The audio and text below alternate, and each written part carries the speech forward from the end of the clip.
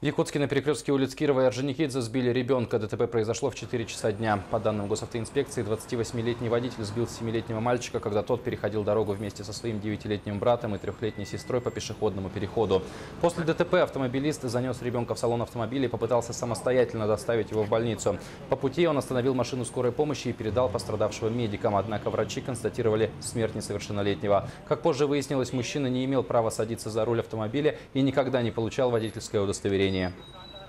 Я вот выезжал, люди прошли, и вы, вот подождал, когда люди все пройдут, и начал поворачивать. И он, ребенок низкий, я даже не успел, так резко все произошло, резко выбежал. Я сразу, ну в шок был, он выбежал, я по тормозам и проехался по нему.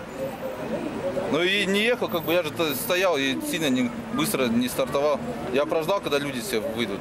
Может, он хотел успеть пробежать, я не знаю, все резко, быстро произошло. Но я понимаю, что это на разрешающий свет светофора, да? Пешеход.